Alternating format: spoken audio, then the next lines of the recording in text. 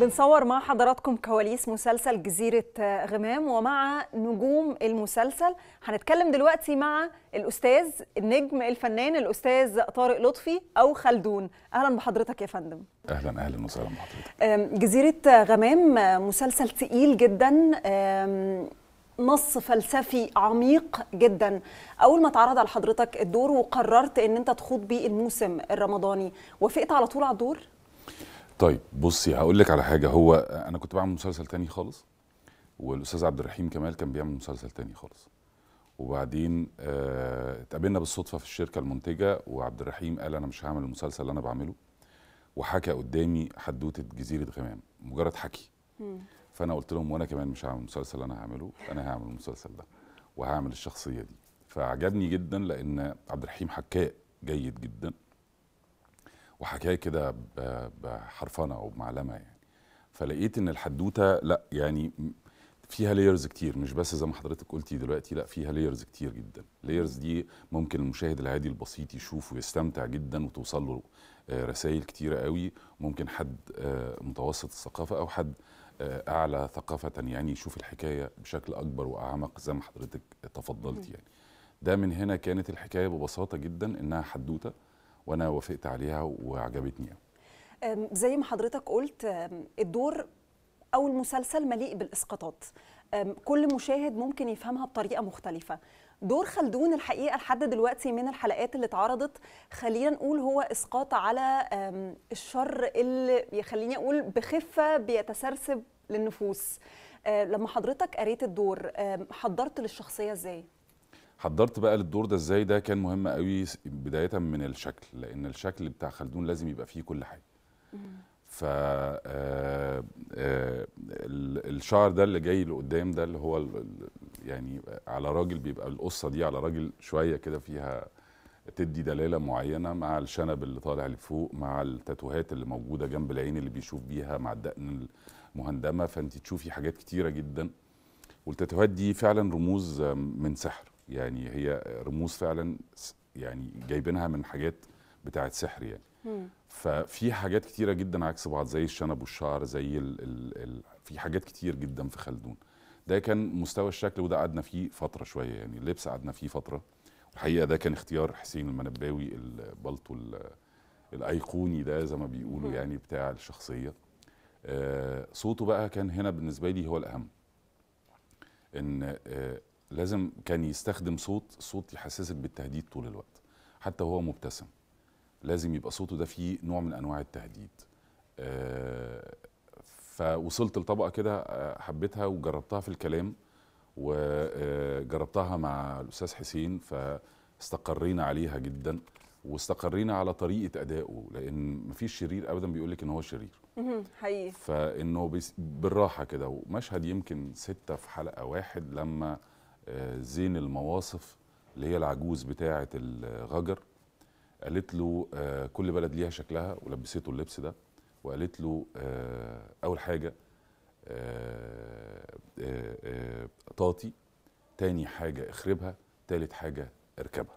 دي الروشتة كده ببساطة في شخصية خلدون إزاي هتتطور مع الأحداث يعني وهنشوفه إن شاء الله يعني. آه، ال master scene اللي دخول حضرتك آم، لجزيرة غمام آه، لما طرح البحر نزل على الجزيرة. هل ده أو حقيقي هو فعلا master scene لشخصية خلدون؟ صورتوه إزاي؟ قعدتوا فيه قد إيه؟ هل ده نقدر نقول إن هو كان تعريف لشخصية خلدون آم، أصعب مشهد ممكن لأنه تعريف للشخصية؟ بصي هو مش أصعب مشهد هو كان في التنفيذ كان صعب جدا لأن إحنا كنا بنصور على البحر درجة حرارة متدنية جدا المراكب وهواء شديد قوي والمراكب ما كانتش ثابتة آه ونزول الناس دي مع بداية تعريف ال- الناس اللي جاية الناس الأغراب اللي جاية دي خلدون والجماعة بتاعته. فكان مشهد صعب في في ظروفه. لكن ما كانش مشهد صعب في ك ك كتكنيك أو أصعب مشهد زي ما حضرتك بتقولي يعني. لا خالص. أصعب المشاهد هتلاقيها في الحلقات اللي جاية وفي الحلقات الأخيرة خالص. في sequence صعب جدا جدا يعني. آه، إحنا حتى موجود عندنا مش باسم حلقات موجود عندنا باسم X فدي المشاهد اللي هي الصعبة قوي على ال- الشخصية لأن هي الأواخر بقى وخلاص المسلسل آه، بيخلص وشخصية خلدون نفسها بنشوف وصلت لإيه يعني. المشهد الأولاني ده كان آه، كنا بنصور على في الزعفرانة. الهواء كان صعب قوي يوميها مراكب مش ثابتة.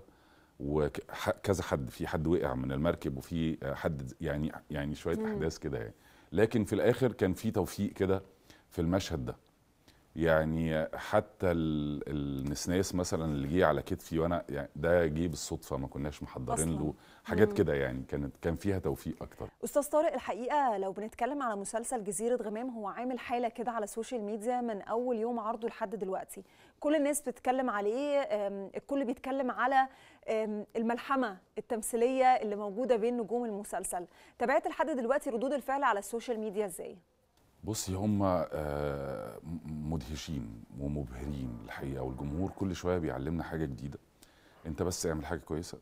تمام كده. وبجد وقدمها لنا حتى لو انت خايف من اختلافها عن ساعات إحنا اللي بيبقى لينا حسابات كده نقول رمضان ما يستحملش موضوع تقيل رمضان عايز حاجة سريعة. لا هو بيدهشنا الحقيقة. الجمهور ده بيقول اعمل لي حاجة كويسة وأنا هقف جنبك. بجد. ردود الأفعال آه، مدهشة بشكل يعني بجد غير عادي. كلنا فرحانين بيها جدا جدا جدا. وما كناش متوقعين الحجم ده. كنا متوقعين إن إحنا هنعمل عمل جيد لأن كل العناصر كانت الأساسية متوفرة بشكل جيد. كاتب رائع مخرج رائع مدير تصوير شركة إنتاج كرو إنتاج ممثلين ما حصلوش كلهم كل واحد ممثل تقيل يشيل عمل يعني. فدول لما تجتمع العناصر دي مع بعضها في الآخر أكيد المحصلة هيبقى فيها حد أدنى. لكن الحقيقة المحصلة الحمد لله يعني يعني الحمد لله بقت حاجة هايلة يعني. والحقيقة رد فعل الناس حسسنا إن إحنا لأ إحنا لازم ما نفكرش آه، في الجمهور بالشكل ده لأن هو بيدهشنا كل مرة. طيب أستاذ طارق الحقيقة أنا عايز أتكلم مع حضرتك على السيناريو على السكريبت عن الحبكة.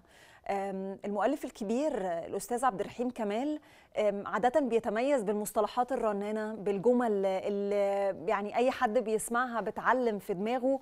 وخليني أقول إن كل جملة بمعنى أو كل جملة كل حد بيسمعها بطريقة مختلفة والكل بيبقى عايز يفسر حتى الجمل. كلمني عن التعاون بين حضرتك وبين أستاذ عبد الرحيم كمال خاصة إنه آه، تاني تعاون ما بينكم آه، بعد القاهرة كابول. لا خالص اولا هو صعيدي أنا مش صعيدي فهو عارف أكتر مني في الحكاية دي وهو إحنا رحنا منطقته. اتنين عبد الرحيم الحقيقة آه، أنا شايف إن اللغة عنده بالذات في المسلسل ده عشان هو صعيدي ومن أصله لغة أقرب لل- للغة الشعرية. لأن عنده جمل قصيرة جدا لو فردتيها في العامية تلاقيها أربع خمس جمل. هي الحقيقة كل جملة بمعنى يعني كل بالظبط. جملة مثل. بالظبط مثل كده. تحسي إن هو جايب الجمل مكثفة جدا جدا. لازم نقولها بلهجتها المظبوط عشان تطلع كمان آه، طعمها حلو زي ما هو كاتبها. فده كمان محملنا إن إحنا لا لازم نذاكر كويس ولازم نحفظ اللهجة كويس ولازم يعني علشان نقول الجملة زي ما كتبها عبد الرحيم. ودي من أحلى الحاجات في عبد الرحيم بصراحة هنا في المسلسل مش بس أحداثه المتلاحقة لا كمان جمله الحلوة قوي حقيقي. طبعا ألف مبروك. بتساعد المسلسل الممثل قوي بتساعده طبعاً. جدا جدا بيبقى عارف يقول الجملة إزاي. طبعا ألف مبروك آه، النجم الكبير آه، طارق لطفي. وبالتوفيق إن شاء الله. ويعني أنا مش عايزة أتنبأ إن هو هياخد أعلى نسبة مشاهدة لأن هو فعلا لحد دلوقتي الناس كلها بتتكلم عليه إنه آه، من أحلى المسلسلات اللي معمولة في الموسم الرمضاني الحمد لله. 2022 شكرا جدا لحضرتك ورمضان. كريم. ربنا يخليك.